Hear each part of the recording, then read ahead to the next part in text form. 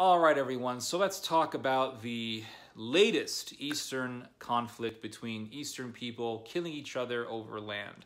You have the Armenians on one side and the Azerbaijanis on the other, and the two are killing each other over a piece of land called Nagorno-Karabakh.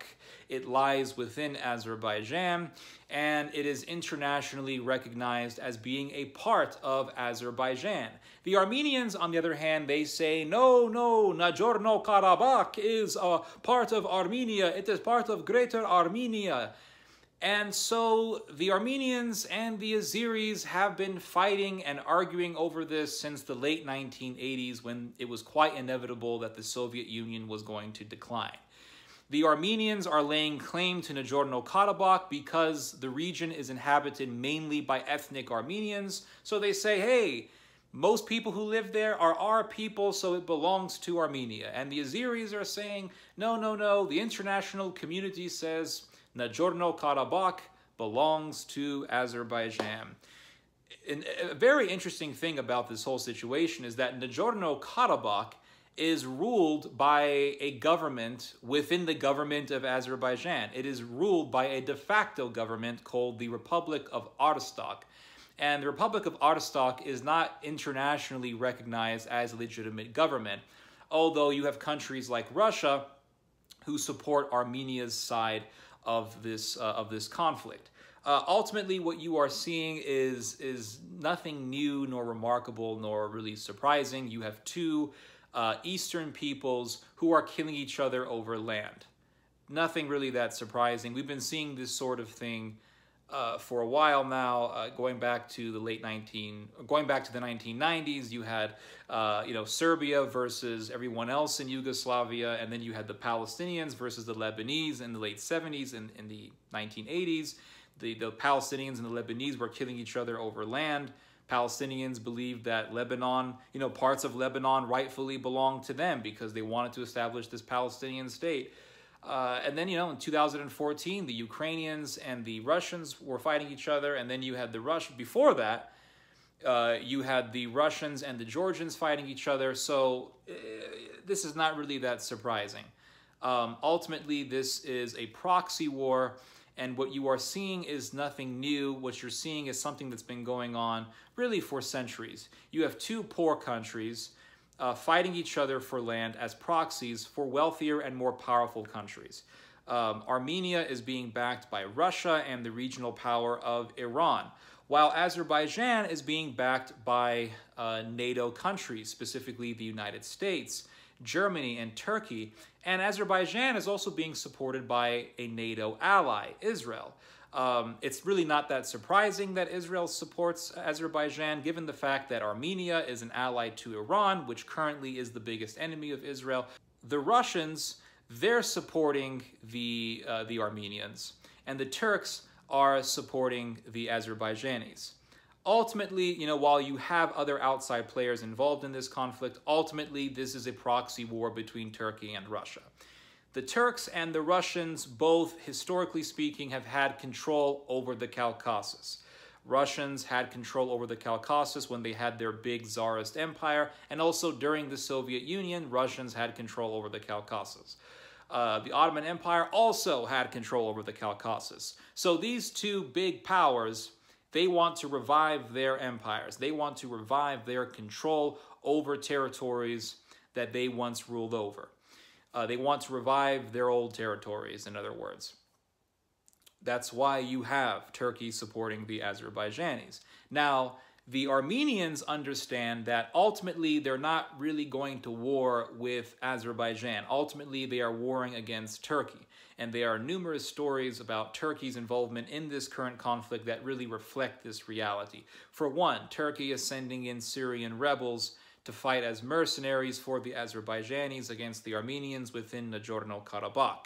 Now, the Turks are denying this, but there have been several reports that really substantiate this. You've had articles from Reuters and from, I want to say, the Telegraph, or the, the yeah, the Telegraph, I think, uh, there have been numerous substan substantial reports on this that really uh, uh, evidence this.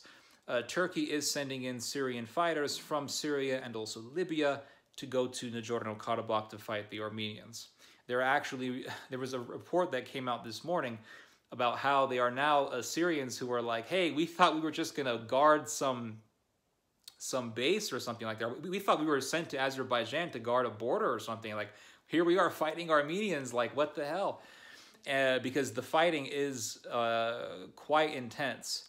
Um, and also, there is a very interesting story. There was actually an air battle between the Armenian Air Force and the Azerbaijani Air Force. And it, it, involved two planes. You had one Armenian fighter jet. Um, the fighter jet, I believe, was an Su-25 fighter jet. And then you had a Turkish pilot who was manning a, an American F-16, or a Turkish F-16, because while the F-16 is ultimately American, the Turkish F-16 is part of a collaboration between Turkish uh, and American uh, te technological innovation. So it's known as a Turkish F-16. The Turkish F-16 got into a fight with the Armenian um, uh, fighter jet, and the the Turkish pilot destroyed the um, the Armenian fighter jet. Now this is a, a story that's been reported in Armenian media, uh, but of course the Turks are denying it. Um, but the Armenians affirm that this story actually did indeed take place. Um, if it did indeed take place, it wouldn't be really that surprising, given the fact that just a couple of months ago, uh, Turkey parked a bunch of its F-16s within Azerbaijan and also began to conduct uh, uh, uh, collaborative training sessions with the Armenian, with the Azerbaijani military as a way to instill fear into the hearts of the Armenians. The Armenians said, "Hey, we know what you guys are doing, and uh, we will not tolerate any sort of uh, aggression on the part of Azerbaijan." With the help of Turkey. So the fighting, you know, has been taking place. Dozens of people have been killed. Hundreds of people have been wounded. It's really, really a big mess, and it's very, very bloody. Um, hopefully the fighting will end, but it looks like Turkey is interested in making sure that the fighting continues on because as long as that fighting takes place and, and that it continues on, Turkey has a, a, a, situation of chaos that it can take advantage of in order to expand her uh, uh, um, political leverage in the Caucasus. Russia also is going to be using this opportunity to spread its influence in the Caucasus. In fact, Russia just recently proposed uh, peace talks between Armenia and Azerbaijan, and these essentially would just be uh, peace talks uh, mediated by Russia, and it would just be uh, a way or really an opportunity for Russia to expand her influence in the Caucasus. It's kind of like Germany getting involved in peace talks in Libya. Like, what, what was that about? It was obvious that it was about Germany uh, uh, reviving and expanding her uh, geopolitical influence. Another interesting thing that's taking place is that France is also getting involved, and the French are siding with the Armenians against the Turks. Now, what would make the French, this big NATO superpower, side against a fellow NATO superpower, Turkey? I think this really goes back to recent history. Uh, before the outbreak of World War I, the French and the Russians had already made an agreement that if one of them uh, were to ever be attacked, the other country would defend the attacked country. So France was ever attacked, the Russians would defend the French, and vice versa. And so the French and the Russians historically have this um, history of being allies. And also the French have a history of helping the Armenians against the Turks.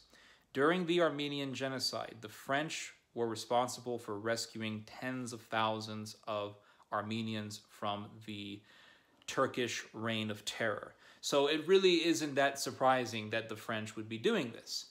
Um, you're starting to also, or really you have been seeing this sort of thing in North Africa, in Libya.